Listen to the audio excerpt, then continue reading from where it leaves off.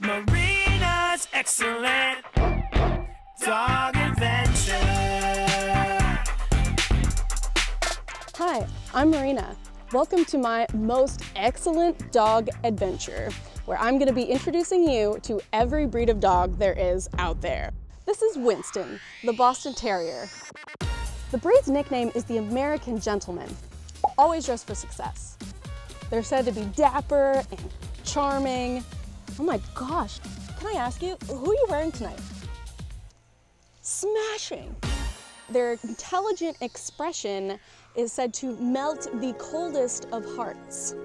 That's a tall order, Winston. Cold out, you're gonna need your jacket. Come on. So Boston's are susceptible to cold weather. Yeah, and he doesn't, and he's kind of high maintenance when it's too hot. He doesn't like it too hot either. He has to be in the shade. Oh. He's just the neatest dog. My neighbors are fell in love with him.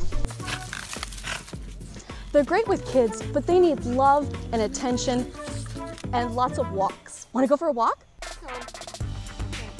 Oh yeah. Is it a rumor or is it true that when Boston sleep they snore? Yeah, he does. It, it, you know, it's like soothing. I don't know. Does he sleep with you? loud. Um, well, What, what's the most annoying thing about him? Because it seems like there's a lot that's really awesome about Boston Terriers, but what is annoying to you? well, he's a pillow licker. I know, I know that sounds strange, but What does that even like, he's licking, he's licking your hands. He's You just- you're just a He's licker. just a licker. He makes sounds of appreciation. Oh yeah, it's almost like a purr.